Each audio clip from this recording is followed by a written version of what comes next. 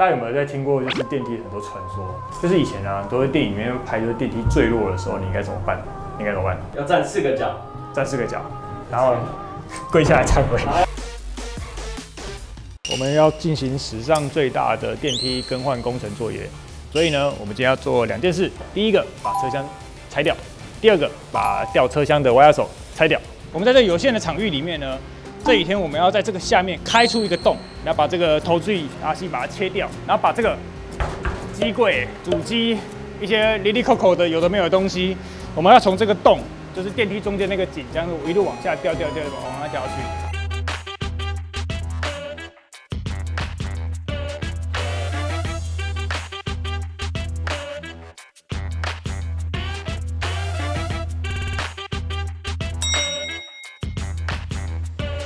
嗨，我操！欢迎回到超人少年。其实我们在新的主机装好之后，我们的渠道已经净空的非常完美。那这个时候呢，我们就要在这电梯井里面装出这个可以承载人希望与梦想跟职位的车厢。那这个车厢怎么做出来的呢？其实装车厢非常的有趣，它不像在一个洞穴里面大爆炸展开来，它也不像是一个小纸盒在里面摊开，而它是一片一片的用金属片，然后在里面去组装完成的。所以在这个如此晴朗的午后，我们今天的重要工程那就是装车厢啦。好，Let's go。我，刚刚刚滴，对对对。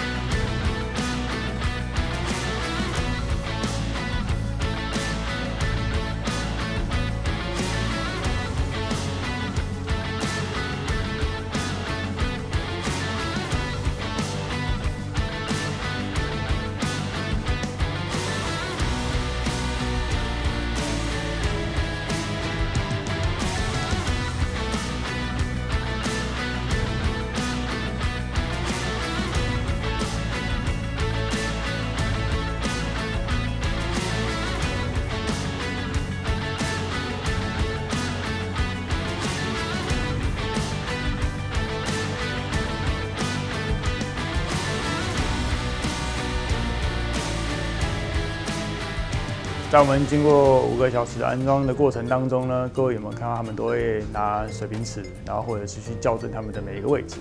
原因是这样子的，其实车厢里面的板材呢，它就像是用镭射切割跟钣金，然后折床这几个形式，然后去构成的。所以它在每一个角落的拼接呢，就是你不能有丝毫的一些些差距，因为那个时候都是用 K 的图档去画完的洞，然后跟画完的尺寸。所以说，如果你在第一片乱接，你在第二片就歪掉，第二片歪掉，第三片你再乱接，然后它回来了之后，整个车厢在完成阻力的时候呢，它就不会是一个完整巩固的一个正方体。它不只会影响美观之外，更重要的就是会影响到它的力学，跟影响到它的安全性。所以在组织这个全部的结构的时候，每一个小螺丝都非常重要的啊，继续装。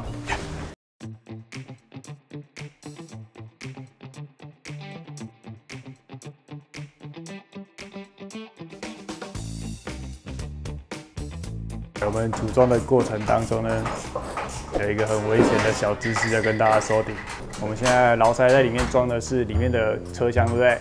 车厢里面会有一个车厢的门，然后呢，我们平常在外面按电梯的时候，那边咚咚咚按电梯的时候，外面会有一个门，大家都以为那两个门是同一个门，其实是不对的。所以如果今天电梯它不在你的这个楼层，假设你在二十楼，千万不要白目的去搬开那个门，因为你搬开的门里面是没电梯的，它是一个管道，就像隔壁一样。对你就可以体验大楼内的自由落体。但是如果呢，你家里面没有换新电梯，或者是你家里的电梯是老装潢的时候，你要怎么知道告诉你们的管委会，告诉你们大楼应该电梯要维修了呢？如果当你今天电梯已经装完成的时候，你发现它每次开门它的水平跟你的外面的水平是不一样的时候，就要赶快调整了。那第二个呢，就是当你在电梯在搭乘的时候，你会突然有一个很莫名的晃动感，会这样子。丢解丢解的时候，这个时候呢，你也可以联络你的车厢里面，它会有一个制造公司嘛。去联络上面的厂商。那从我他们呢自己就是有一个 QR code，所以你就可以用 QR code 去告诉他们，跟他说，哎，这电梯怪怪的，赶快来修理，就这么简单。好了，我们来装天花板哦。我们现在等框架的细扣链灯都锁好了之后，这个电梯车厢的天花板就能够合体了。有，这是隔壁大哥的手，他在另外一个车厢奋斗着。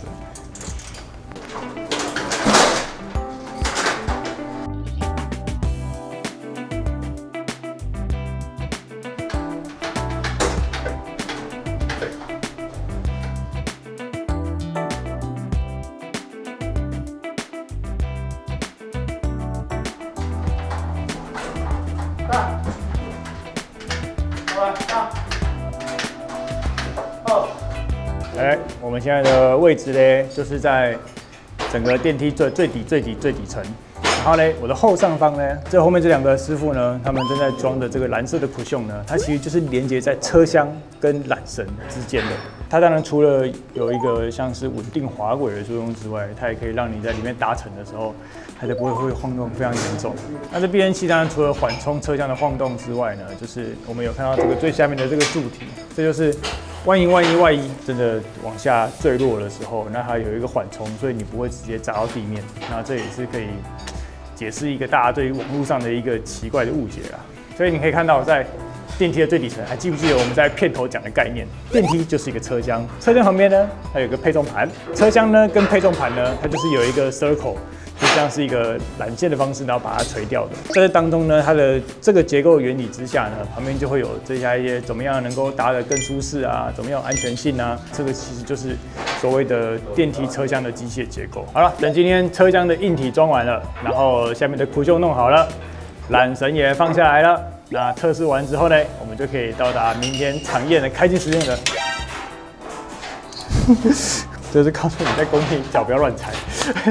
明天一早动九动动，我们就可以来进行车厢里面的场验跟测试了。明天见，大家好，欢迎来到超人的礼拜一。之前我们已经把电梯都装好了，组装完成了。那所以今天我后面这么一大旁的人，他是来干嘛的呢？就是来验电梯的。在电梯送出去给客人之前，总是要自己公司的人自己把它验好、验干净，或者是把它验的安全性、稳固性、流动性、顺畅感都把它用到完美极致。今天一大群人就是要来检查我们电梯做的行不行，走，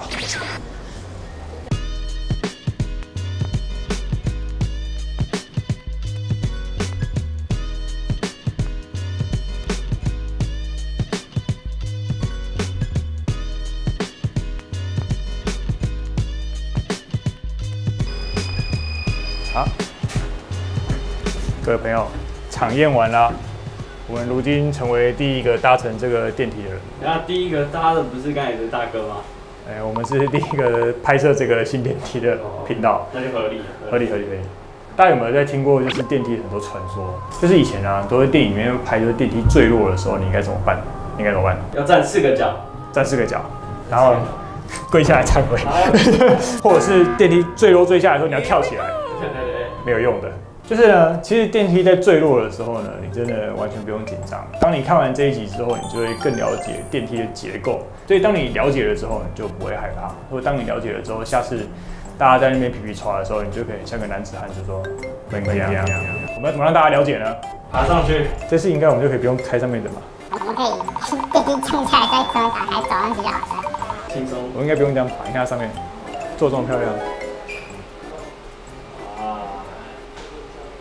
人类的电梯呢，经过一百多年的演进，它其实已经不会像早期一样一根绳子、一个轨道自由落体的往下坠落了。现在，现在我的右手边呢，这三颗轮子就是多重安全装置，你可以把它称之为导滑轮，或者是人家所说的导靴。里面的主要架构呢，其实就是三个橡胶滑轨，然后它就一直滚动，跟着你的这根轨道。万一万一它在高速坠落的时候呢，它就会夹嗖把它夹起来。那它在它右手边呢，我们看到这个可爱的小机器？这个机器呢，其实是我们整个电梯里面的关键的关键。因为它上面这边有一个很小很小的一个编码，就它一直在读它里面的一个编码。所以说你的电梯在几楼，它它应该要停在第几层，它就是用这样子的数据。你可以幻想，就是人家 Seven Eleven 有没有一直哔哔哔哔哔哔要逼要逼到其中有一码说哎二十三楼到了，然后它就会瞬间让那个电梯能停下来。当你今天看完这整集，就是电梯该如何安装，跟它里面的内部结构之后呢，你就发现网络上讲的那些事情都是胡乱的。我好像也在网络上面讲啊，上一个时代的对，不是，那是上个世代的事。以前你在网络上看到的那些事情都是胡乱的。从今天起，你看到这个频道之后，你就会了解电梯的结构，了解工业结构之后，你就不用再害怕。所以呢，当我们一路往下坠落到你的罪恶的深渊的时候，上帝会接住你。然后会接住你，听清楚没有啊？所以接下来我们就来带大家去看地底下的上帝之手。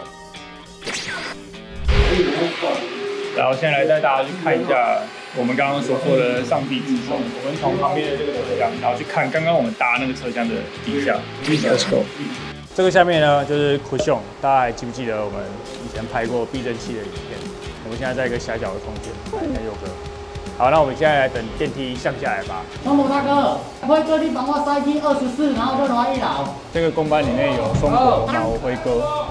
我们来看一下上帝之手接下电梯的样子。看到我们的五根外压手，当时换了这么久的五根外压手，现在正努力的工作着。你们看到这个循环？它往上，然后我们在对面的那一条街这边，这个边的外压手往下，它就是一个 circle 的概念。现在电梯就是在我们那个亮亮的位置，然后它现在正高速的往下降。这好快哦，这个压迫感超大的。呀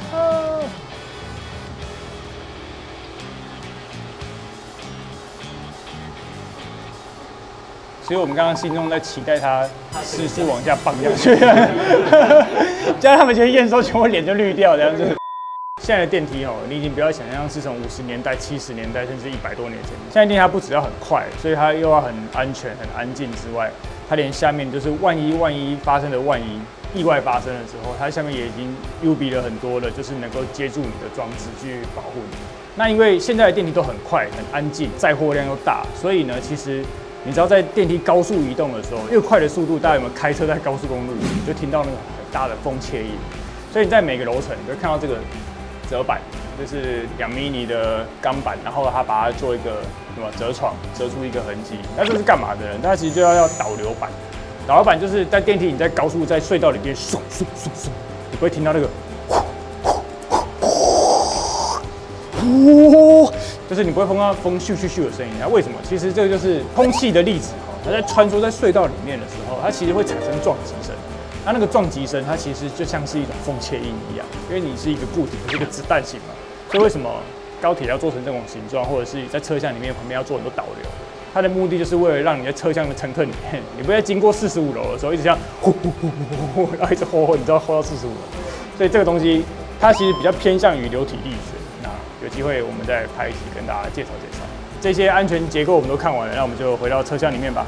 好了，如果各位朋友家里里面没有高科技的飞行器，你要怎么样测试你的电梯呢？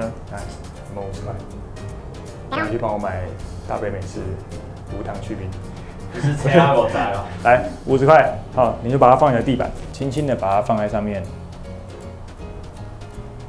不能使用热态胶。电梯小姐，下楼，电梯下楼。电梯下楼，好，我们现在从四十四楼，我们先高速的往下，再往上，你就看着这个硬币，它有没有动？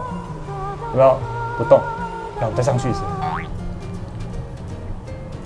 这样子呢，你就可以观察出你家的电梯呢，它在行驶的时候，它稳不稳固，跟有没有安静，有没有轻巧，这个 smooth，这个顺畅感，这个高速电梯的耳鸣感。那小朋友，如果你在耳鸣的时候，叔叔教你一个方式哦，你就是把鼻子捏起来，然后在鼻子大力吐气，那你的耳压就做好了，就笑。停下来的那一刻，完全没有倒，看，厉害吧？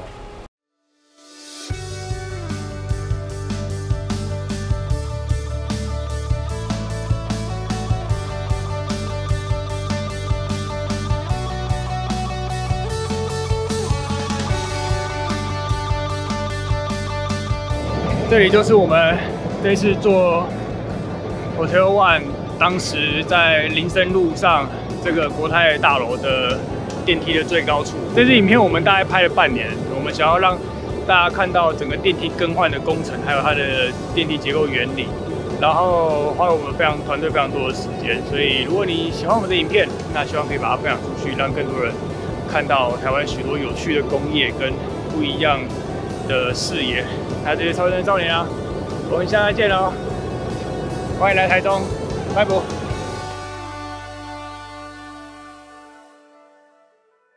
在电梯里面，你只要不讲话，就有一种沉默的宁静感。心情不好的时候，大家可以站到电梯车厢的上面来。千万不要。然后你们就会，你们就会俩拱。摄影师，你要不要看一下你现在脚下你的脚边？万丈深渊啊！现在没错。你以前做过几个坏事？数不清来。我看你就是以前干过多少坏事，我们就升到几楼。一零一都还不够高啊！一零一都没办法弥补我们的罪孽。我们在上面发现了一个在工业里面很重要的镇店之宝，来把它放回去，它才不会不会变坏坏。我们现在站在了我们人生难得高峰的位置，海拔目前两百五十公尺。好，我来跟大家好好介绍一下这个大台中。搜狗百货，搜狗百货往后面过去是什么呢？来，这个我们最繁荣的七期区，所以往后呢，哦，有没有太平区？往那边呢，哦，火车站，然后再过去这边，哦，就是漂亮的山景啊。OK，没问题啊，大家再见，拜拜。One two three, up. Kate 就是 Creators at Taiwan，是为新媒体所创造的全新平台。现在你只要下载 Hami Video，并且订阅 Kate，你就可以在提早十四天看到我们超人的影片哦。拜拜。